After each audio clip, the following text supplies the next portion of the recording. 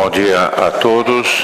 Nós vamos dar prosseguimento a esse 74º curso de Cardiologia Intensiva, de Cardiologia do Instituto Dante Pazanese.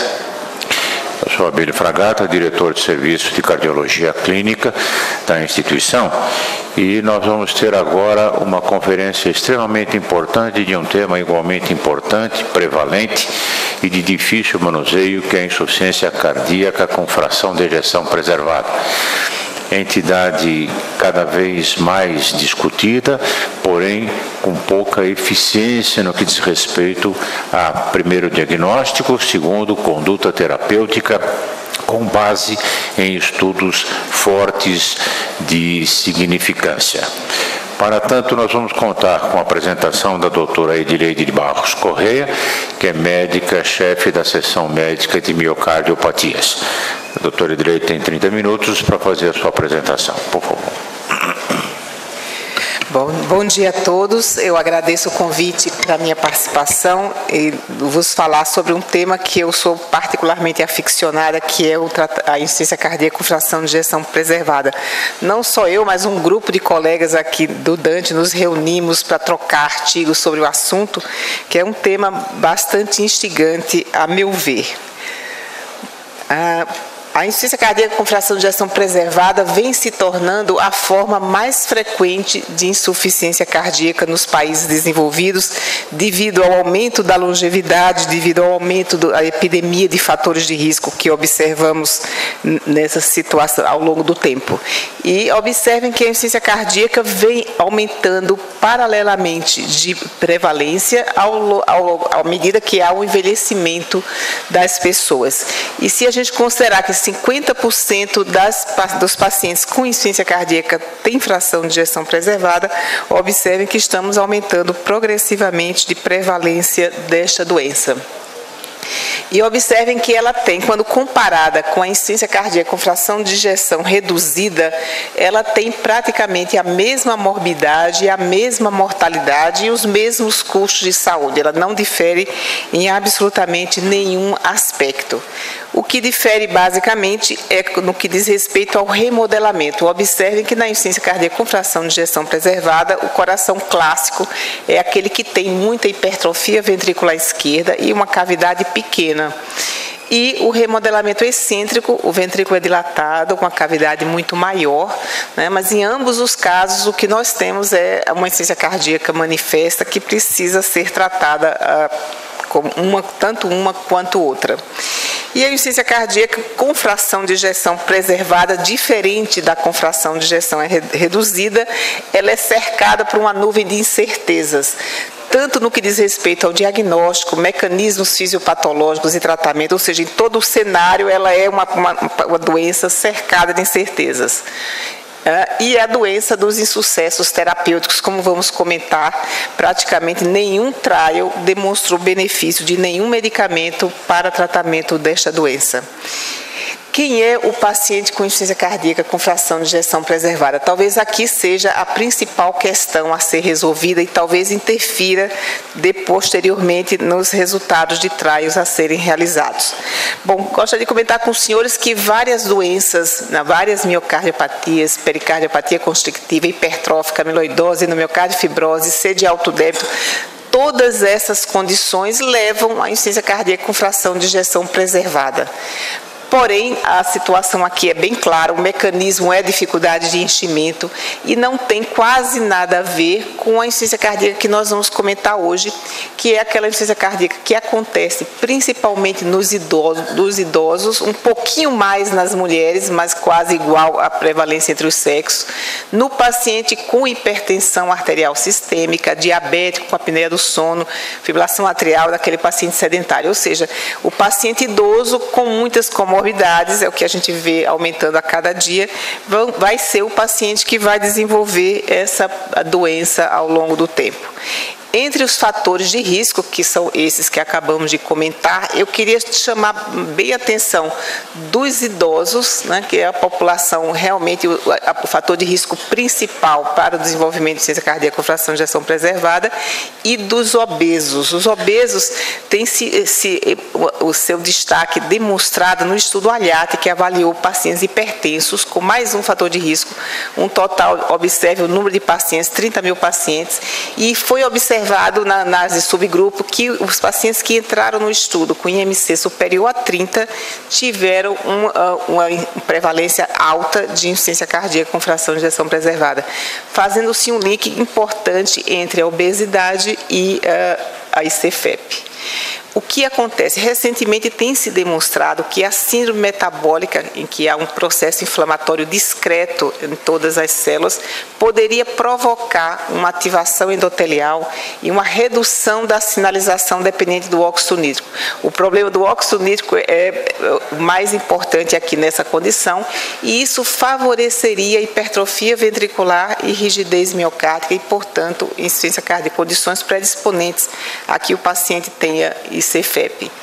Ah, recentemente, há vários estudos em andamento avaliando justamente o aumento da liberação de óxido nítrico como talvez ah, um, que tenha um benefício a ser demonstrado nesses pacientes. Então, ainda com relação a fatores de risco, observem que num estudo uh, em Hong Kong, observou-se que das internações hospitalares por ICC, a ICFEP estava presente em 67% das internações, sobrepujando a IC com fração de injeção reduzida, e nesse, nesse material houve uma, uma incidência igual entre homens e mulheres. Né? Uh, já na Alemanha, observou-se ainda uma prevalência nas mulheres idosas, e o conceito tradicional de que hipertensão e HVE é, importante, conflita com os estudos clínicos, onde só a metade dos pacientes tem HVE e eles também têm pressão arterial normal. Ou seja, estamos passando a ver que a insuficiência cardíaca com fração de ejeção preservada, eh, ela não respeita sexo, nem idade, nem, é, nem paciente obrigatoriamente tem HVE e não obrigatoriamente é hipertenso. Esse é um estudo interessante que comparou a insuficiência cardíaca, os dados demográficos de pacientes com insuficiência cardíaca com fração de injeção preservada e, e reduzida. Foi um estudo feito nos veteranos, 9.442 pacientes, e que 30% tinha insuficiência cardíaca com fração de injeção preservada. Observe que os pacientes nessa condição são um pouquinho mais idosos, têm um pouco mais mulheres do que na ICFE, são mais brancos, mais diabéticos, mais hipertensos, mas a, o fato de ter esse fator de risco, também, eles também estão presentes na insuficiência cardíaca com fração de injeção reduzida, um pouquinho menos, mas também estão presentes. Isso não nos ajuda ao diagnóstico. Recentemente, no ano passado, em 2015, foi feito um encontro de experts na Universidade de Ferrara e se chegou à conclusão no final do encontro que realmente a falta de um critério diagnóstico clínico claro para o diagnóstico da ICFEP era o principal problema, é, principal barreira para o progresso dessa doença. E todos concordaram que os critérios que dispomos atualmente são esses, mas que não são perfeitos, é claro. Então, quais são os critérios diagnósticos? Sintomas e sinais de C, intolerância aos esforços que acontecem nos pacientes com essa doença, ter o critério ecocardiográfico. Antes disso, vamos falar da elevação de peptídeos natriuréticos uma fração de ejeção normal e ter uma alteração ecocardiográfica, disfunção diastólica, uma alteração no relaxamento, alteração de complacência. E aqui eu estou dando destaque ao aumento do átrio esquerdo como biomarcador de CFEP. Então, é, mais uma vez, eles aqui estão listados. Então, começamos com sintomas ou sinais de insuficiência cardíaca. O próximo passo, então, vamos imaginar a situação em que se é um paciente procura pronto-socorro com dispneia, o próximo passo seria a dosagem de um peptídeo natriurético. Se esse peptídeo natriurético for normal, né, praticamente a gente pode descartar esse diagnóstico. Observem que aqui já, um, aqui já defronta-se com um problema. Os idosos normalmente têm é, peptídeos natriuréticos elevados.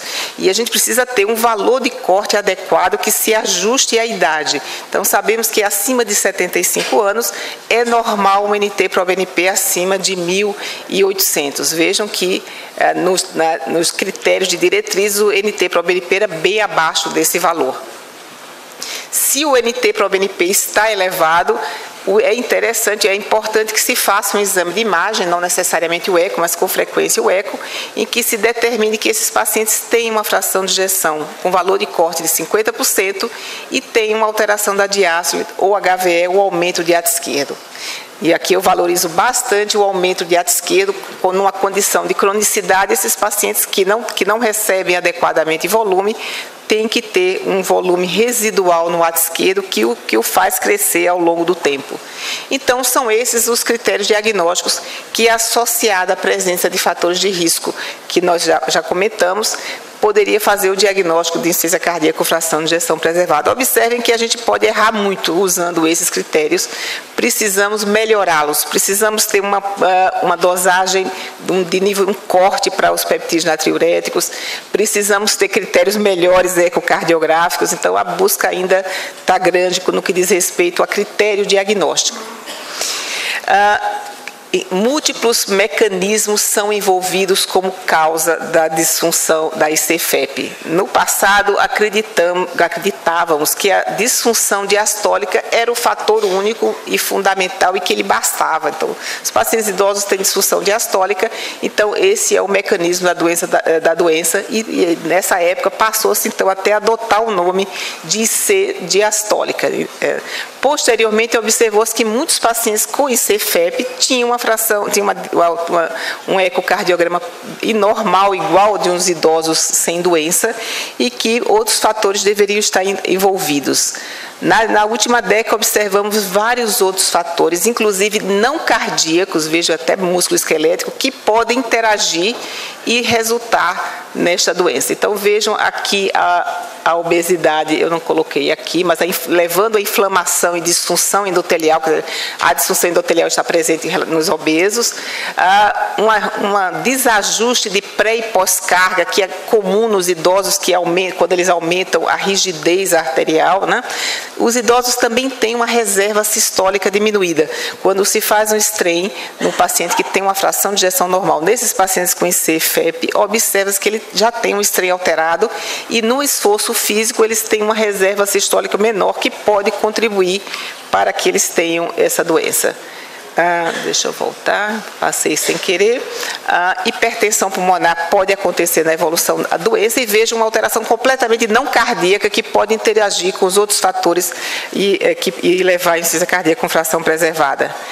Insuficiência renal, ela pode estar presente associadamente como resultante da insuficiência cardíaca ou também porque os pacientes compartilham, eh, no, o rim e o coração compartilham os mesmos fatores de risco que pode fazer, pode fazer estes dois órgãos adoecerem simultaneamente gostaria de lembrá-los dessa situação que essas alterações podem não estar presentes no repouso, né, para uma disfunção sistólica, a reserva diminuída, e só ocorrer no estresse. E quando a gente avalia o paciente em repouso, a gente pode encontrar tudo normal e o ideal seria investigarmos, fazermos um ecocardiograma com o paciente fazendo ou logo após o teste ergométrico.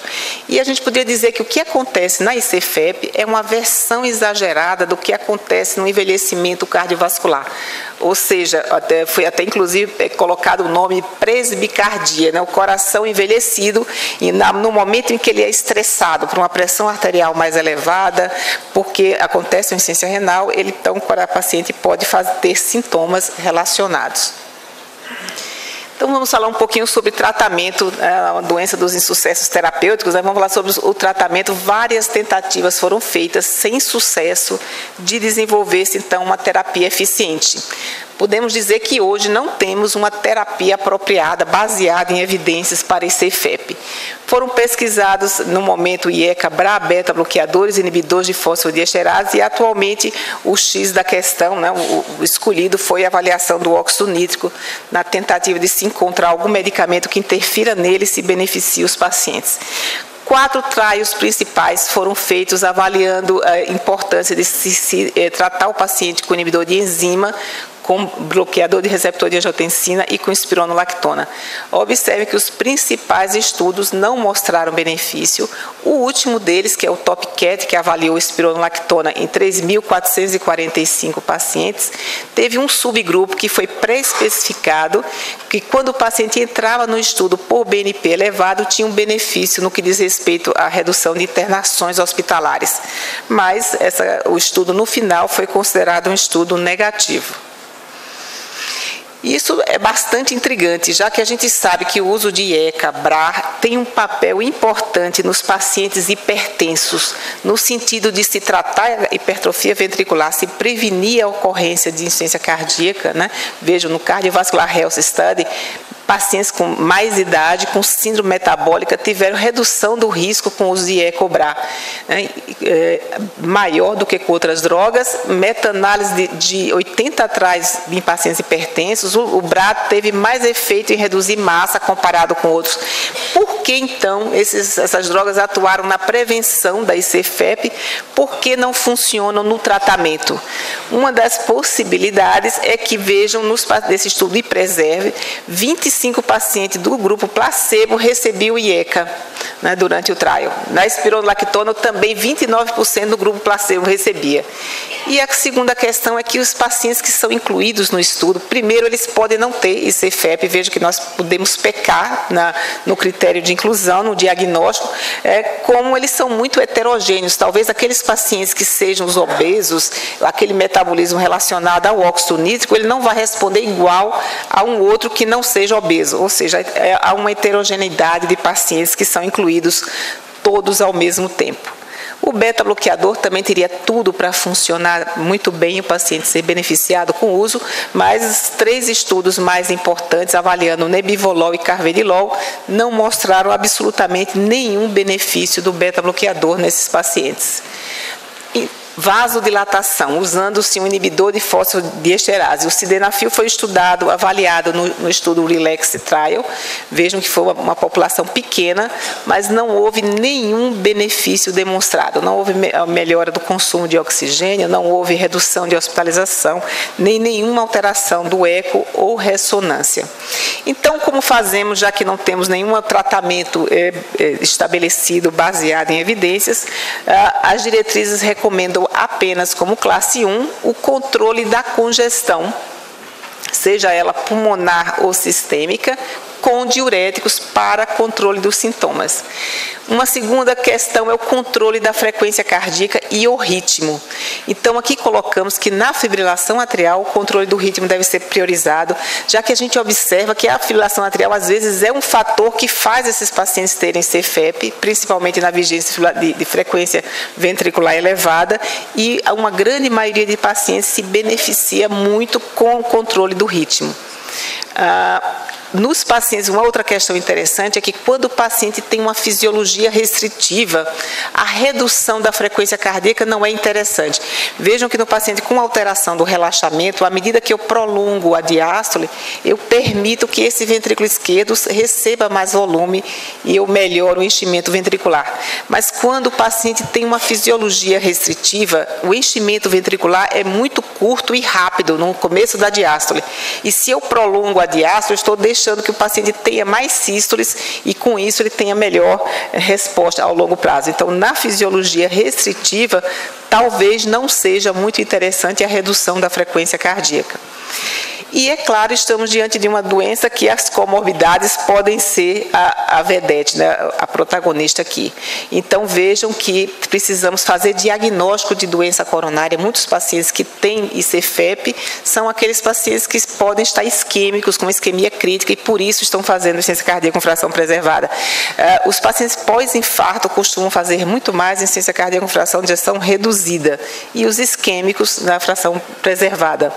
Uh, devemos diagnosticar comorbidades, devemos prevenir, controlar, devemos tratar a obesidade. Vejo que encaminhando o paciente para o nutricionista, nós podemos talvez reduzir aquela, aquele, aquela síndrome metabólica e interferir na, na, nos mecanismos fisiopatológicos da ICFEP.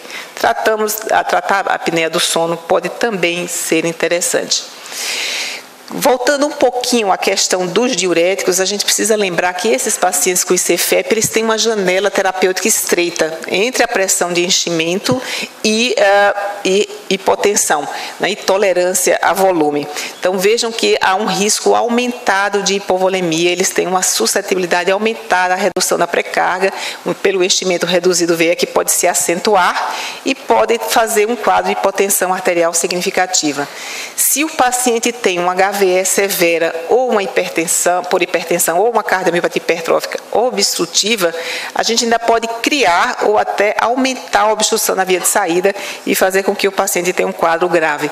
Portanto, cuidado extremo no uso diurético é importante, o que às vezes é muito difícil na prática clínica. Eu, quando medico um paciente com ICFEP, eu não faço um diurético a longo prazo, eu uso por 3, 4 dias, não faço diurético a longo prazo, a não ser quando seja absolutamente necessário necessário que isso aconteça.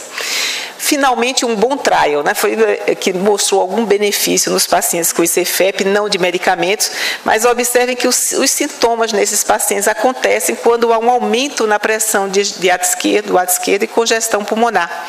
Então, eles vão ter sintomas quando a pressão no ato esquerdo sobe e já se observou que a pressão arterial pulmonar aumenta, aumentada, anuncia a descompensação antes que os sintomas ocorram.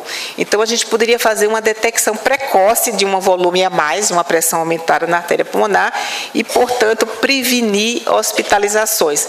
Então, como a gente pode então fazer essa avaliação de volume? Primeiro, nos pacientes que têm um, um CDI ou um ressincronizador implantado, que tem um sistema Optival, como acontece nos, nos, nos aparelhos da Meditronic.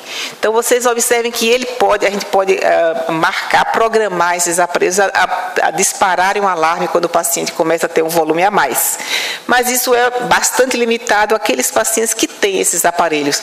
Então, foram desenvolvidos dois dispositivos né, que são esses dois aqui, que eles têm a função exclusiva de avaliar a, aumentos da volemia, aumentos de pressão na realidade, né, não, não de volemia. Então, o CardioMan foi avaliado no Champion Trial, vejam que observou-se pouquíssimos efeitos adversos relacionados ao implante, nenhuma falha do, do monitor e uma redução de 37% de hospitalizações por IC em 15 meses né, deste, desse cardiomen, que por isso foi aprovado na Europa e Estados Unidos. Agora que ele vai passar a ser utilizado, aplicado na prática clínica, é esse aparelhinho que eu coloquei aqui em cima. Ele é implantado na artéria pulmonar distal por um cateterismo direito. Então, via hemodinâmica, ele, ele é colocado na artéria pulmonar e deixado lá. O laptop, ele, é, a limitação maior do cardiomen é o fato de que ele vai avaliar a pressão de artéria pulmonar. E ela nem sempre reflete a pressão diastólica, nem sempre reflete a pressão de ato esquerdo. Quando o paciente tem problema, uma hipertensão arterial pulmonar por outros motivos, pode exatamente não ser igual a, a relação, não ser tão boa. O ideal é que seria se a gente tivesse um dispositivo no ato esquerdo, monitorando a pressão do ato esquerdo. Então, por isso foi desenvolvido esse dispositivo que ele é colocado no ato esquerdo. O que aconteceu em estudos de fase 2, né, ele é que seria colocado via uma punção né, do, do, do septo interatrial e colocado no lado esquerdo, e se viu, no estudo de segurança, um grande número de, de efeitos adversos, e com isso, então, foi bloqueada a sua, eh, sua utilização, não foi aceito, mas é possível que com o um novo desenho ele passe a ser, volte a ser estudado, tenhamos um monitor de pressão. Então, ele, talvez essa avaliação de pressão eh, de artéria pulmonar seja bastante interessante naqueles pacientes que têm uma janela estreita, que já fizeram hipotensão com diurético, talvez seja uma boa questão. E se a gente acredita no resultado do Champion, né, foi um único estudo, ele realmente teve um papel muito interessante. O próprio paciente pode monitorar sua pressão e só tomar diurético de acordo com a pressão observada. É, já se idealizou também a possibilidade de se fazer uma bomba de furosemida integrada ao dispositivo, em que seria liberada furosemida de acordo com o aumento de pressão, independente da participação do paciente. Ok, então é, acho que estou encerrando, só lembrando que nossos trials que avaliaram medicações possivelmente úteis, que tinham tudo para ser úteis, não demonstraram eficácia. Né? Temos uma grande dificuldade diagnóstica, podemos errar muito com, usando os critérios disponíveis. Temos pacientes com DPOC, obesidade, dispneia psicogênica e hipertensão pulmonar, que podem ser confundidos com pacientes com ICFEP. Nosso marcador laboratorial eleva-se pouco, não temos um nível de corte muito seguro para ICFEP e ainda mais para complicar um pouquinho mais, a disfunção diastólica ICFEP pode ser paroxística, transitória. Por exemplo, numa situação de isquemia aguda, o paciente pode ter um ICFEP, no outro dia, isquemia resolvida, ele não ter mais. Uma crise hipertensiva, um, um desajuste pós-carga ele pode fazer e depois não ter na sequência infecção, anemia e pode, como também pode ter um curso indolente, né? É, e o paciente pode não ter nenhum sintoma quando o ventrículo esquerdo não está estressado. Então, vocês veem que há uma grande dificuldade, mas é uma doença instigante. Eu, eu tento estimulá-los a estudar essa doença, que é bastante é, entusiasmante quando estudá-la, estudá-la e fazer o diagnóstico. E talvez no futuro tenhamos que nos defrontar com muita frequência com pacientes com ICFEP. Obrigada.